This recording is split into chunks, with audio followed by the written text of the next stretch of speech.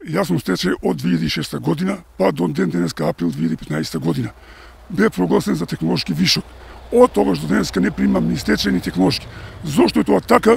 Мислам луѓето од власта многу добро знаат, тоа е голема грешка. Сите луѓе кои замина под било какви услови треба да примат некој надо место. Без разлика дали тоа технолошко или како се вика. И од тогаш, еве сега, сум на 4 месеци, може и 5 пред пензија, да го скина социјалното заштитното осигурување. Зошто се обраќам до управа за приходи, они грчат, они ме упатуваат до та, до здравствено до здравственото, они обратно до нив и сега човекот а знае вистината до управа за приходи и ръководителот, меѓутоа вика не смеам да ти дадам ја тебе нето уверение, мора да ти дадам тебе бруто. Која е логиката на тоа? Јас не знам човекот, мислам дека се плашат. И едната ръководителка на здравствениот фонд се, се плаши и рекрутител на управа за приходи се плаши. Не знам.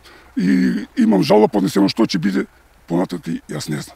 Луѓе се и они како сите обично секој чувствува во себе страв и ги оправдувам луѓето. Во секој случај ги оправдувам. Они си знаат тоа е нивно лично право да се плашат и зошто се плашат, тоа треба само нив да ги прашате. Јас би кажал што можам да кажам, а тоа не е од моја страна добро. Јас преживуваме во овој крај неготинскиот дел, поготово е многу тешко. Значи, ние од земјоделие се живее, па и ако најдеш некој 5 дена, 10 работа, па не ти ги дават парите, па треба да чекаш. Или ако работиш кај некој, ќе работиш два месеца, три, може ти даде нешто, не те превоје социјално, ни стаеш ни ништо. И не знам до, до кога во овак.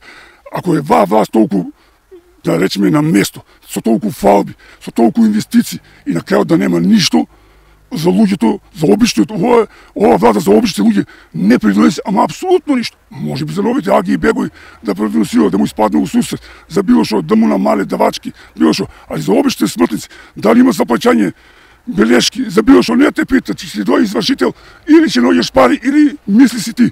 И мислиш, сакаш, не сакаш, не мора да дојдеш да работиш. Било што, било каква работа да. Ако сакаш да преживееш, иначе се знаеш што те чека, нема да ќе пропаднеш.